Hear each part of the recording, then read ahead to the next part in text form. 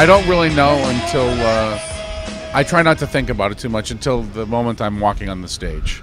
Only when the show starts, then I am transported from another planet to where I am.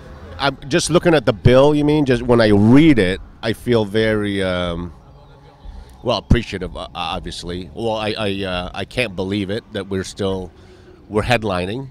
Every time we headline a festival, it's very special, and um, that's it. I, I just feel like uh, we have a lucky spot tonight.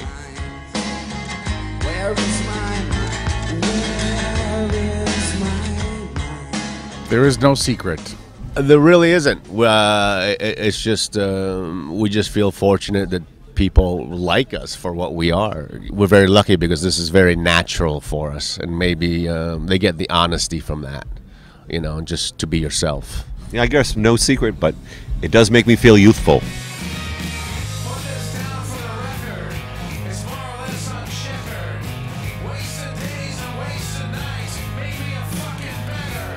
I really enjoy recording a lot, and uh, I've been lucky enough to uh, participate in a lot of recording sessions in my life, and uh, I look forward to the next one. I'm always looking forward to the next one. It's probably my favorite thing to do. It's not really a comparative process or anything like that where I compare it to other recording sessions. Every recording session is what it is, and but the goal is the same, and that's to come up with something good. When you're making a record, you're pretty much consumed with that uh, agenda. Once the decision was made to go in the studio, and once the process starts, yeah, it's just the same thing. You know, you just try to put something down on um, the tape. Let's just say the tape, the best as possible.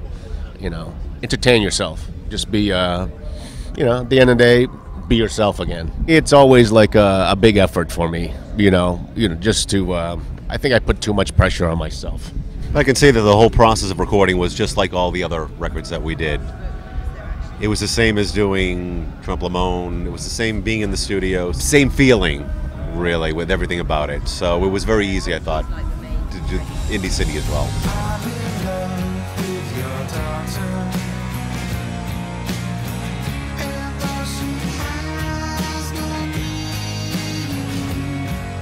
I like this guy Baxter Dury. He's the son of uh, Ian Dury. He's sort of my favorite newish guy. Don't waste your life, Claire. Don't waste your life, Claire. Don't the things that you might do. And I love you. So.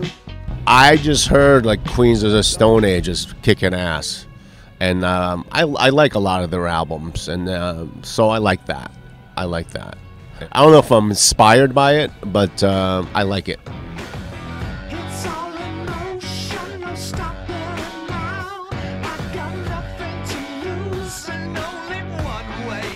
It may be all the same in the way that it's just got to be good to be noticed or to get played. I think it's the same formula as back then. It's got to be good.